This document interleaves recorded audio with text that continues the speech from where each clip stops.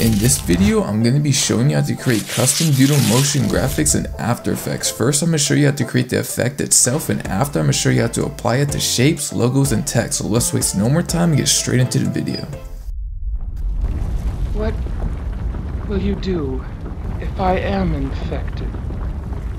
Cure me?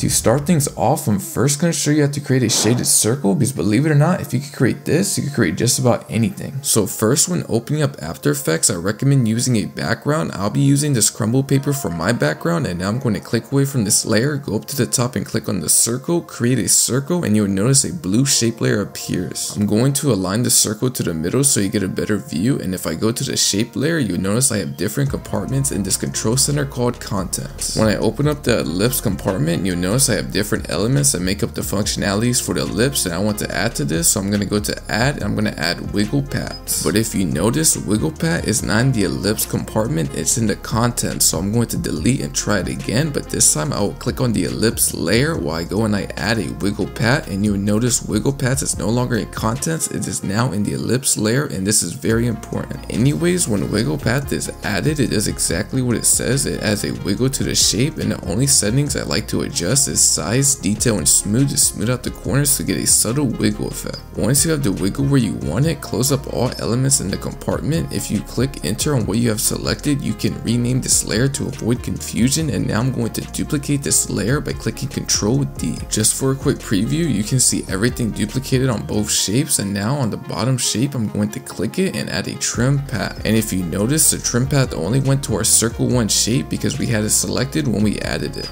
For trim paths, all we're going to do is Alt and click the stopwatch, replace the expression with wiggle parentheses a number, comma, and parentheses. Also make sure wiggle is lowercase. Now we're just going to copy this expression and do the same thing for end and do the same thing for offset, but for offset, make sure to always set the last number to 180. Now when we look at the circle, it has a little doodle outline and from here, the settings kind of depend on what you're going for. What I like to do is hide the first group, go back and forth in the timeline adjusting the first number number 1 through 10 and the second number between 20 and 80 but all of this is just adjusting how much the shape will be trimmed down exaggerating the outline effect. Once you get your trim paths the way you want it and everything is copy and paste matching go ahead and bring back the first shape and if you want you can also go back and make more adjustments with the wiggle effect to further gain what you're looking for. Just make sure whatever you do to one side you do to the other. I'm showing this because I normally change the wiggle effect after I do the trim paths 90% of the time. Now we're done with the outline and I'm I'm going to close everything up and we're going to add a scribble on the inside this layer. I am first going to go ahead and add a solid layer. Color doesn't matter. And once I've added this solid, I am going to pull out my pen tool and make a mask on this solid layer covering up my circle. Shape doesn't matter, but once the mask is in place, apply the scribble effect onto the solid layer. Now when I come to the scribble effect controls, I always change the color. In this case, I'm changing it to black and you'll have multiple fill options. In this case, I'm going to keep it on inside. The other two settings you're going to be messing with is edge options and stroke options. Almost everything does exactly what it sounds like. I mostly adjust the angle, stroke width, curviness, and spacing, but once you have these settings where you want it, we're now going to add this to the inside of our shape. So to do this, we're going to go to the track matte, drag it over to the shape layer, and at first, the track matte will be appearing on the black lines, so we don't want this. So to change it, I'm going to go and click on this icon to change it to Luma Matte. Now I'm going to go ahead and unhide this shape and go inside the shape layer, open open up the contents and when I open up the first compartment, I'm going to unhide the fill and now we can see the line. To see the lines clear, change the fill to white, close everything down when you're done, and now we're done creating the circle. We just need to add some movement because right now it's way too fluent and still. So to do this, go ahead and select the shape and solid layer and create a composition and now we're going to add the wiggle position effect. A speed of 1 and a wiggle amount of 10 is a good subtle movement. I do have a short video explaining how to use this, but once this is in place, add a effect effect called color range. And what you can do so you can see what you're doing is add a tint to your background layer, change the color to something random temporarily because we are going to get rid of these white lines. So back to the color range, just click on the first pen, tap on an area of white, and when you up the fuzziness, the greater amount of white disappears. Now to finish this off, go back to your solid layer, get rid of the tint, and back to the shape layer. We're going to pre-comp it one more time, and lastly, we're going to add this effect called posterize time. What this does is adjust the frame frame rate, making it less smooth, giving it more choppy jumpy look. So this is what it looks like at 14 because it has less keyframes. And if I go back and adjust it lower to 8, it's even more choppy and jumpy and you have now successfully created a shaded circle and I know this is kind of lame but I promise you can make just about anything out of this. Now that you have a good understanding on how to set everything up, I'm now going to show you a few different compositions I applied this effect to to spark your creativity and to show how versatile this effect is because you could apply this to just about anything. So to start things off, I'm quickly going to show you how to make the shaded dollar sign which is no different than the shaded circle. Starting from background to the beginning, you can see I have my posterized time in place, lowering the keyframes and when I enter into the next composition, I will put on the background and you can see I have my wiggle position in place and I have my color range blocking out all of the white and I'm going to enter the next composition and you can see my shape in solid scribble layers. You can take a look at my scribble settings and when I enter into shape 1 you'll notice I have two groups instead of shapes and this is because when I open up one of the groups I have all the shapes inside the group and this is because when I apply the wiggle and trim paths it applies to all the shapes saving me from having to do it to each individual shape. To create a group all you would do is when you're done creating all of the shapes select all of them right click and click group shapes or you can click control G but anyways I'm going to change it back to the way I had it real quick. These are my wiggle path settings if you're curious my trim path has all the wiggle expressions locked in and one thing you can add for more movement is if you go to the transform group settings of this group you can add an extra wiggle expression in the position slot to give the lines in this group more movement and a tad of boldness but I'm going to close all this up and I'm going to show you what I did with the first layer group difference. So you can see everything is duplicated. Remember the top group only needs to have the wiggle paths added and the body of my dollar sign is filled with white for the scribble effect to be track matted. Now last thing is you're probably wondering why I have two shapes here that are hiding that are not appearing. This is because I copied and pasted them onto this shape layer up here and I did all the same steps on this shape layer. The reason for this is if I hide this shape layer, reappear the shapes that are below the scribble that are connected to the fill of the dollar sign, the scribble is just going to scribble right over them. And lastly for the scribble to fill out the dollar sign, remember the scribble is connected to a mask path so all I did was added keyframes because once you double click the mask you can move it anywhere. Anyways when you have this in place the way you want it, remember pre-comp it, add wiggle position effect for some movement, add color range effect remove all the white, pre-comp it again, and lastly add posterized time and this is my final result. Now we're gonna ramp things up a little bit and make this rocket ship and it's actually very easy and no different from what we've already been doing. So of course I've already had my posterized time and my paper texture background in place. Going into this composition I will hide the background. You can see the wiggle position, you can see the color range to block out the white and for this composition I just added some position and scaling keyframes, nothing too crazy. When I move the timeline you can see the rocket is getting bigger and moving upwards out of the composition and that is it. Now when I enter this composition, this is all my shapes and solid layers and I'm going to go ahead and break it down but this is not much different from the shaded dollar sign. So this first shape layer is of course the white shaded parts of the rocket ship that's going to eventually be copped out and this is group 1 with all the different shapes and the wiggle path. Group 2 is of course a duplicate with a wiggle path and a added trim path and I did add some extra movement in the positioning but I'm going to go ahead and close this and what's new here that you might have noticed is the added trim path here. What trim path does when no expression is added is it trims or grows the shape and you can control it by setting keyframes. I'm going to go more in depth on this later in the video. Next is my solid scribble layer. You can look at my settings and of course I mask it and track matted it to the rocket ship body with a luma matte attached to it and if we open up the contents of the rocket ship body shape layer it has all the rocket ship shapes in a group with the rocket ship body having a fill and the wiggle paths is of course there and if I close this and come down to group 2 this is the duplicate with trim paths added and if I open up the trim paths all the expressions are locked in with an added transformation for this group and if I close everything down I do have a trim paths here all that's being done here is I started a stopwatch keyframing 0 to 100 but I do have a way better example coming up and I just aligned these keyframes with the other layers so everything is moving flawlessly together. Also the mask keyframes is just me moving the mask path around to where it's taking over the rocket ship body but I'm going to close everything up and the last thing is the fire. I just applied a mask solid with no scribble effect and applied a track matte to the fire shape but of course changing it to Luma matte. And for the fire shape contents it's just one individual shape. And when I open it you can see the fill is visible showing a white fill and a wiggle path. For shape 2 to duplicate of course everything duplicated over with trim paths added and expressions are locked in. And when I close all of this down it does have an extra trim path here outside the shapes. And it's just matching the other movement of all the other keyframes because the only movement in this composition that's being done is the trim paths movement and the scribble mask path movement. And once I'm done here, going into the next composition, I just added the wiggle position, color range to block out the white with some simple position and scaling movement. And to end it all off, of course, I just added posterized time. And that is exactly how I went about on making this rocket ship that is not much different from the dollar sign and the shaded circle. To finish things off, I'm quickly going to show you how to apply this doodle effect to text layers and logos. It's a super simple process and very similar to what we've already been doing. It's just an extra step or two. So this is a text doodle effect that we are going to be doing and I am going to be going over the trim path tracing part as well. So when you first open up your After Effects, go ahead and add a text layer, type in whatever you want to type in for your text. I'll type in my name Ferg and I will also align it so it can be in the middle of the screen so you can see it better. If you go and you click on properties, you'll notice different functions of the text pop up and you want to make sure you have no fill on and add a stroke and feel free to make any adjustments to the text now because it'll be much difficult to adjust it later. Once your text is how you want it, you want to come down to the text layer, right click and go to create shape from text and come down again, right click and click create mask from text. And now if we delete this text layer, put the mask over the shape layer and if we open up the shape layer contents, you'll notice that all the letters are already made into shapes and if we just open them up, it already has all of its components. We will keep fill hidden for this, but if I real quickly go through every letter, you'll notice everything's already ready to go and now I'm going to select all of them and I'm going to click Control G to group them together and now I'm going to go ahead and real quickly label it. Now everything is basically repetition. I'm going to add a wiggle path, make sure it's on smooth instead of corner and there is no perfect setting here but find a reasonable size and detail setting and this would be a good time to hide the mask layer if haven't so already and when you're done go ahead and close this up. Once everything is closed down click Ctrl D to duplicate it. Remember everything does transfer from one group to the duplicated one and now we will add a trim path. I will speed through this part because it's just alt clicking the stopwatch type in wiggle all lowercase with parentheses and numbers and make sure 180 is the last number for offset. Also if you would like to add more movement in this group transform section you can add an extra wiggle expression and when you're done close this up and now I will show you one way of how to do trim paths that works every time. So go ahead and select the first group, add a trim path. This will only be added to your first group and when you go down and open it up, bring the timeline to the beginning and go start the stopwatch to the start stopwatch. Now bring end down to 0, move up in the timeline and bring start to 100 and make sure to put it on individually. Once this is done, we want to go to the second group, go to the transform settings for this group and bring the opacity down to 0. And real quick, I will show you that this keyframe does align with the final keyframe but when the text is 100% visible on the trim path then what I'm going to do now is move this keyframe back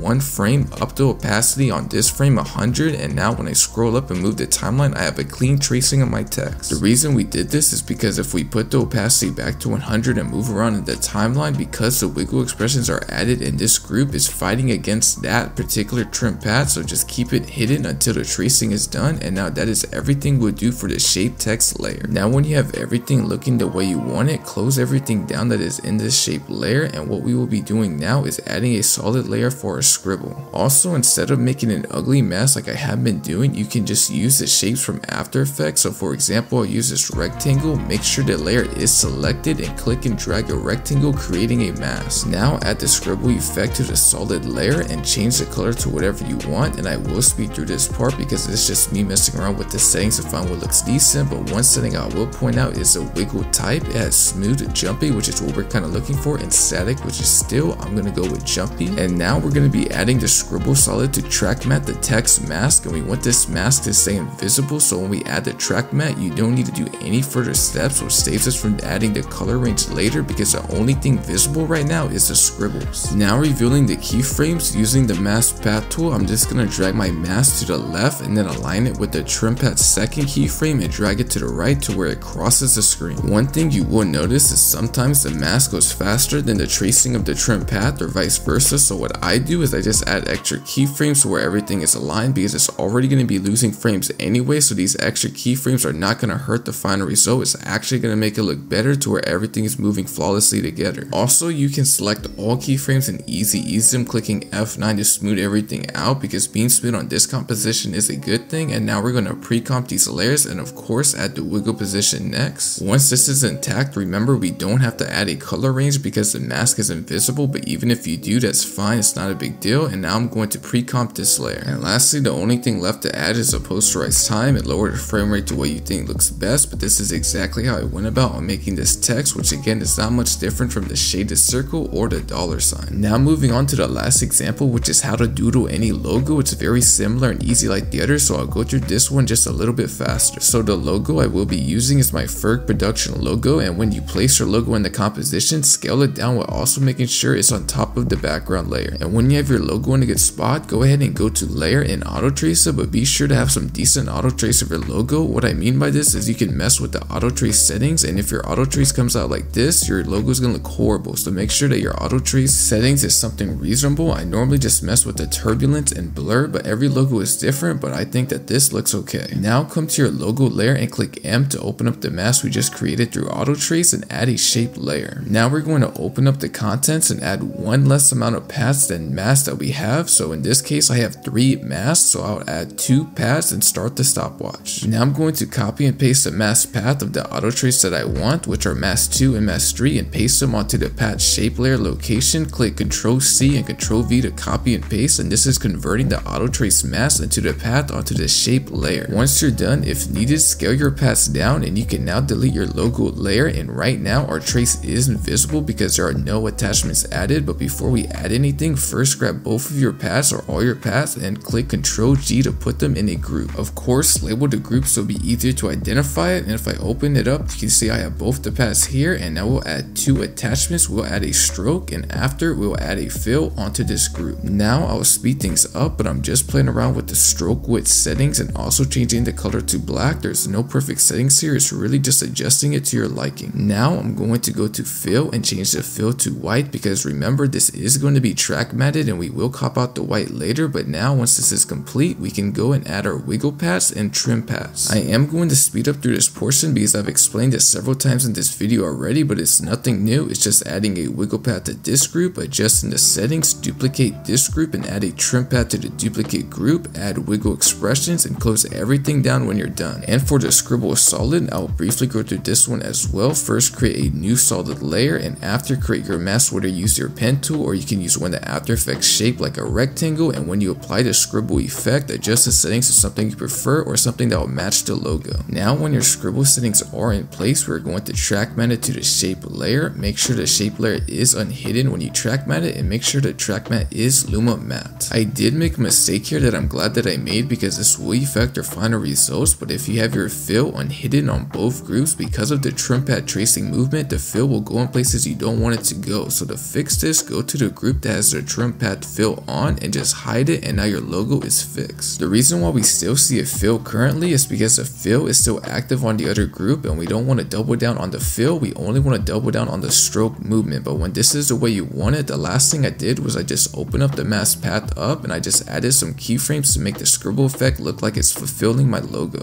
Once everything is looking like how you want it to look like, go ahead and grab both of these layers and put them into a composition, label the composition if needed, and it's the same outro, add a wiggle position effect, add a color range, don't forget you can use a temporary tint to help you guide you to get rid of the whites, but from here just up the fuzziness and go ahead and put this pre-comp into a composition layer, and from here, go ahead and add the posterize time and change the number to lower the keyframes to what you feel that looks best, and I did forget to remove the temporary tint, so I'm gonna go back in the other composition and delete it, but anyways, this is my final result for my Ferg production logo. Anyways, that is everything. I truly hope you're able to make some amazing motion graphics with this doodle effect. If you would like to learn how to morph anything in After Effects, watch this next video. Don't forget to like, subscribe, and remember, I am Ferg, and I'll see you in the next one.